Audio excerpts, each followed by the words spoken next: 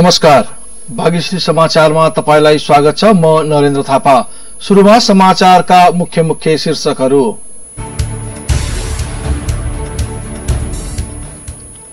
Corona virus संक्रमण रोकथाम तथा नियन्त्रणका लागि सरकारले गरेको लकडाउन अझै जारी?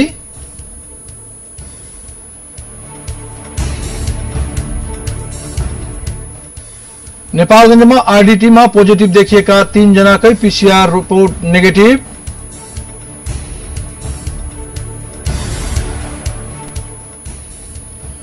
शनिबार थप दुईजनामा कोरोना भाइरस संक्रमण यो सँगै नेपालमा संक्रमितको संख्या दुई सय अठहत्तर।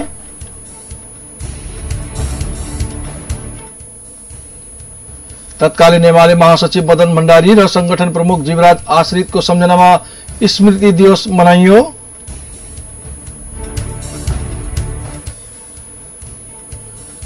र राष्ट्रपति भण्डारीद्वारा प्रस्तुत नीति तथा कार्यक्रममा खेलकुद क्षेत्र पूर्वाधार निर्माणमा जोड।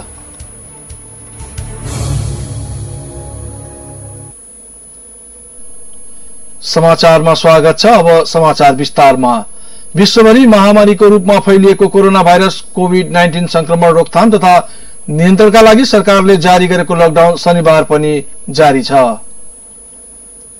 शनिबारबाट थप कडाई गरिएका कारण सड़क थप सुनसान बनेको छ। नेपालमा पछिल्लो समय कोरोना संक्रमितको संख्या बढेपछि लकडाउनलाई थप कडाई गरेको हो। एघार चैत्रदेखि सरकारले देशभर लकडाउन घोषणा गरेको थियो। पटक पटक थप गर्दै जारी लकडाउनलाई पाँच जेठसम्म पुर्याइएको छ।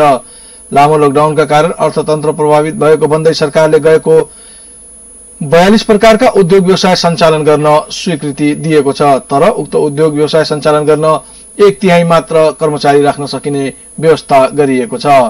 त्यस्तै काठमाडौँ भित्रिने नाकामा थप कडाई गरिएको छ भने यसअघि जारी गरिएको पास पनि खारेज गरिएको छ। त्यस्तै जिल्लाभित्र चल्ने सवारी साधनलाई यसअघि दिइएको पास पनि रद्द गरिएको छ। जमुनाहा नाका हुँदै नेपाल भित्रिएका नेपालीको आरडिटी परीक्षणका क्रममा पोजिटिभ देखिएका तीनजनाको थ्रोट स्वाब परीक्षण नतिजा नेगेटिभ आएको छ। शुक्रबार बिहान गरिएको आरडिटी जाँचमा पोजिटिभ देखिएका तीनैजनाको भेरी अस्पतालको ल्याबमा परीक्षण हुँदा रिपोर्ट नेगेटिभ आएको। जिल्ला स्वास्थ्य कार्यालय बाँकेका कोरोना फोकल पर्सन नरेश श्रेष्ठले जानकारी दिनुभएको छ। शुक्रबार नेपालगञ्ज जमुना नाका भएर नेपाल आएका चार सय छैसठी जनाको आरडिटी परीक्षण गरिएको थियो।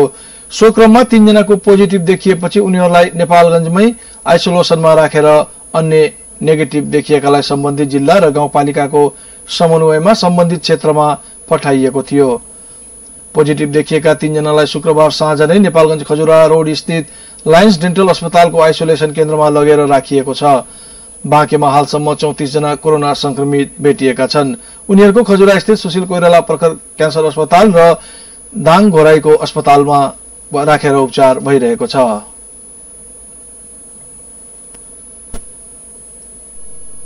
बाँकेको नरेनापुर गाउँपालिकामा कोरोना संक्रमण पुष्टि भएका आठ जनाको सम्पर्कमा आएका दुई सय चौरासी जनाको स्वाब संकलन गरिएको छ। जिल्ला जनस्वास्थ्य कार्यालय बाँकेका corona focal corona focal person Naresh श्रेष्ठले संक्रमितहरूको कन्ट्याक्ट ट्रेसिङका आधारमा शनिबार मध्याहदेखि स्वाब संकलन गरिएको जानकारी दिनुभयो। उहाँले नरेनापुरलाई विशेष प्राथमिकतामा राखेर कन्ट्याक्ट ट्रेसिङ र स्वाब संकलनको काम गर्ने बताउनुभयो। संक्रमितहरू भारतबाट आएर क्वारेन्टाइनमा बसेकाले क्वारेन्टाइनमा रहेकाहरू सहित सम्पर्कमा आएका अन्य व्यक्तिको पनि स्वाब लिने गाउँपालिकाका अध्यक्ष इस्तियाक अहमद शाहले बताउनुभयो। नरेनापुरका विभिन्न क्वारेन्टाइनमा अहिले पाँच सय बढ़ी रहेका छन्।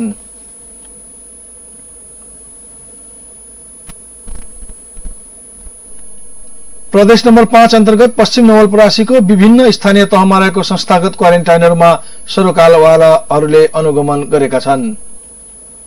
क्वारेन्टाइनहरूमा समग्र व्यवस्थापन खाना बास पिउने पानी सरसफाई साथै क्वारेन्टाइनसँगै रहेको हेल्थ डेस्क लगायतका आधारभूत आवश्यकताको व्यवस्थापनबारे अनुगमन गरिएको हो। अनुगमनको क्रममा अधिकांश क्वारेन्टाइनरको अवस्था सन्तोषजनक रहेको भए पनि थप सुधार भएमा उपयुक्त हुने स्वास्थ्य कार्यालय पश्चिम नवलपरासीका कार्यालय प्रमुख गौरव ढकालले जानकारी दिनुभयो। जिल्ला समन्वय समितिका प्रमुख शिवशंकर प्रसाद रायको नेतृत्वमा सरोकारवालाहरूको टोलीले विभिन्न स्थानीय तहले स्थापना गरेका क्वारेन्टाइनरको अनुगमन गरेको थियो। अनुगमन पश्चात समन्वय समितिका प्रमुख शिवशंकर प्रसाद रायले क्वारेन्टाइनको अवस्था उत्कृष्ट रहेको प्रतिक्रिया दिनुभयो। सातवटा स्थानीय तह रहेका पश्चिम नवलपरासीमा कुल तेह्रवटा क्वारेन्टाइनहरू रहेका छन्। राष्ट्रिय समाचार र खेल समाचार अझ बाँकी नै छन्। केही बेर व्यापारिक विश्राम।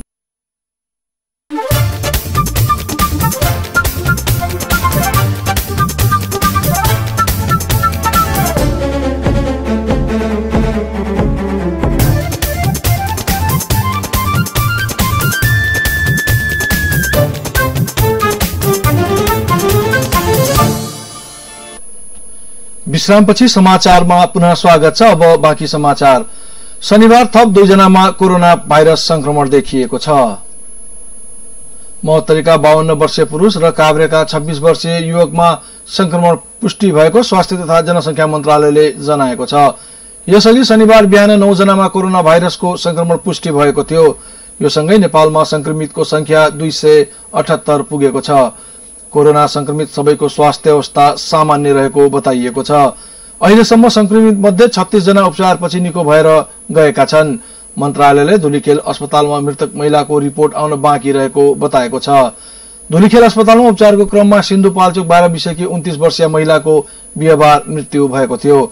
उनको मृत्यु कोरोना कोरोना वा अन्य कारण यकिन नभइसकेको मन्त्रालयका प्रवक्ता डाक्टर विकास देवकोटाले जानकारी दिनुभयो। पिसिआर विधिबाट गरिने परीक्षणहरूको सङ्ख्या आजसम्म छब्बिस हजार छ सय एकानब्बे पुगेको छ। त्यसै गरी आरडिटी विधिबाट गरिने परीक्षणहरूको सङ्ख्या पैँसठी हजार सात सय उन्चास पुगेको छ। गत चौबिस घण्टामा पिसिआर दुई हजार पाँच सय उनासी र आरडिटी दुई हजार छ सय चौसठीवटा भएका छन्। यसरी दुवै मिलाएर आजसम्म कुल बयानब्बे हजार चार सय चालिस र पछिल्लो एक दिनमा पाँच हजार दुई सय त्रिचालिसवटा परीक्षणहरू सम्पन्न भएका छन्।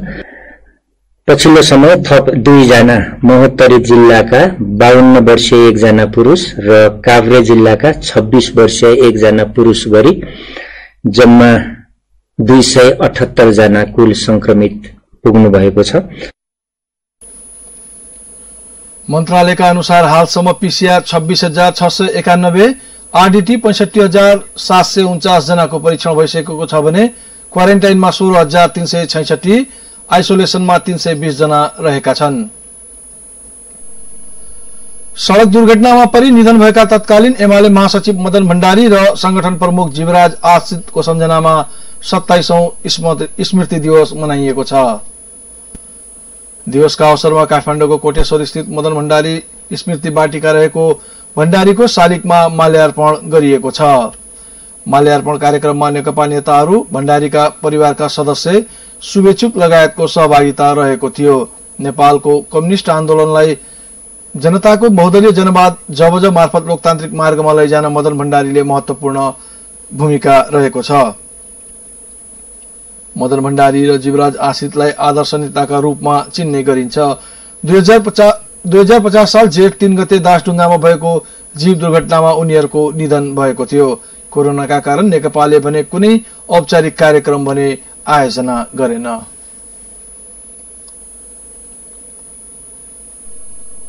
पश्चिम नवलपरासीको एक मात्र महेशपुर भन्सार कार्यालयमा लकडाउनका कारण राजस्व संकलन प्रभावित भएको छ। चालु आर्थिक वर्ष दुई हजार सतहत्तर वैशाख महिनामा राजस्व संकलन शून्य रहेको महेशपुर भन्सार कार्यालयका प्रमुख हेमराज शर्माले जानकारी दिनुभयो। लकडाउन शुरू भएदेखि नै राजस्व संकलन प्रभावित बनेको छ। जिल्ला प्रशासन कार्यालयले भन्सार कार्यालयलाई महेशपुर नाकाबाट भित्रिने सामग्रीको भन्सार महसुल संकलन नगर्ने निर्देशन गरेपछि राजस्व संकलन प्रभावित भएको कार्यालयले जनाएको छ। कार्यालयका अनुसार विक्रम सम्बत दुई हजार छिहत्तर चैतमा बन्दाबन्दी अघि रु अठासी लाख र बन्दाबन्दीपछि दुई हजार छिहत्तर चैत महिनामा जम्मा रु सात लाख मात्र राजस्व संकलन भएको देखिन्छ। प्रमुख जिल्ला अधिकारी वासुदेव दाहालले कोरोना संक्रमणको असर परिस्थिति असहज परिस्थितिलाई ध्यानमा राखी सो नाकाबाट सकभर सामग्री भित्रिन नदिएको बताउनुभयो। चालु आर्थिक वर्ष दुई हजार छिहत्तर सतहत्तरमा कुल रु पन्ध्र करोड़ राजस्व संकलन गर्ने लक्ष्य भए पनि हालसम्म रु एघार करोड़ अठार लाख राजस्व मात्र संकलन भएको छ। हामी समाचारको अन्ततिर छौं। अब खेल समाचार। गत वर्ष स्वदेशमा आयोजना गरिएको तेह्रौं दक्षिण एसियाली खेलकुद सागमा प्र- प्राप्त सफलतालाई उपलब्धि मान्दै सरकारले नीति तथा कार्यक्रममा त्यसकै आधारमा आउने दिनमा पदक जित्ने खेलाड़ीलाई प्रोत्साहन गरिने बताएको छ। भन्सार मंसिर महिनामा सम्पन्न तेह्रौं सागमा नेपालले अङ्क तालिकाको दोस्रो स्थानमा प्राप्त गर्ने क्रममा एकाउन्न स्वर्ण साठी रजत र पन्ध्र कांस्य सहित दुई सय छ पदक जितेको थियो। राष्ट्रपति विद्यादेवी भण्डारीले संघीय संसदको दुवै सदन प्रतिनिधि सभा र राष्ट्रिय सभाको संयुक्त बैठकमा नीति तथा कार्यक्रम प्रस्तुत गर्ने क्रममा आगामी दिनमा सरकारले अन्तर्राष्ट्रिय राष्ट्रिय र क्षेत्रीय प्रतियोगितामा सहभागी भई पदि- पदक जित्ने गरी खेलाड़ीको क्षमता बढाउने बताउनुभयो। खेलकुदका हकमा सरकारको नीति तथा कार्यक्रम पुरानै शैलीको निरन्तरता मात्रै देखिन्छ। खेलाड़ीको क्षमता विकास गर्ने स्थानीय र प्रादेशिक तथा राष्ट्रिय स्तरमा सुविधा सम्पन्न खेलकुद पूर्वाधार निर्माण र स्तरोन्नति कामलाई निरन्तरता दिने उल्लेख गरिएको छ। त्यस्तै उच्च पर्वतीय खेलकुद तालिम केन्द्र निजी क्षेत्रबाट पहल गरेका खेल पूर्वाधारलाई प्रोत्साहन गरिने पनि नीति तथा कार्यक्रममा समेटिएको छ। नीति तथा कार्यक्रमकै आधारमा अर्थमन्त्री युवराज खतिवड़ाले जेठ पन्ध्र गते आर्थिक वर्ष दुई हजार सतहत्तर र अठहत्तरको बजेट प्रस्तुत गर्नेछन्। चालु आर्थिक वर्षको तुलनामा आगामी आर्थिक वर्षको खेलकुद बजेटमा भने कटौती भएको बताइएको छ। अहिलेलाई बागेश्वरी समाचार सकिएको छ। समाचार सक्नु अघि प्रमुख समाचारका शीर्षकहरू पुनः एकपटक।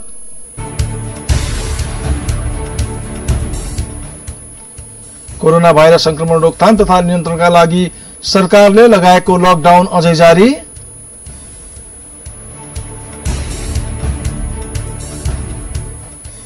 नेपालगञ्जमा आरडीटीमा पोजिटिभ देखिएका तीनजनाकै पीसीआर रिपोर्ट नेगेटिभ।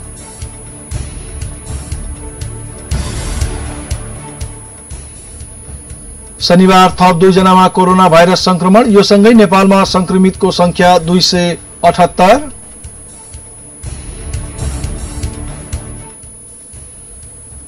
तत्कालीन एमाले महासचिव मदन भण्डारी र संगठन प्रमुख जीवराज आश्रितको सम्झनामा स्मृति दिवस मनाइयो।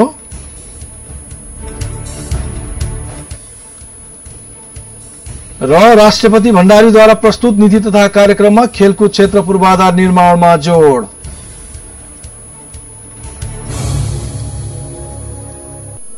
हवस् त बागेश्वरी समाचारबाट म नरेन्द्र थापा विदा हुन्छु। घरमै बसौं सुरक्षित रहौं। हेर्दै गर्नुहोस् बागेश्वरी टेलिभिजन। नमस्कार।